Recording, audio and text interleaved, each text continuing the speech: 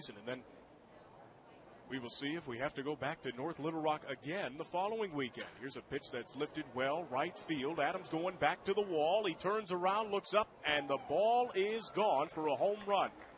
Second home run of the series by Blake Gailen. It's a two run blast. It gives the Travelers a 3 2 lead here in the top of the fourth inning. Number nine on the season for Gailen. Hinshaw was along for the ride. That'll clear the bases.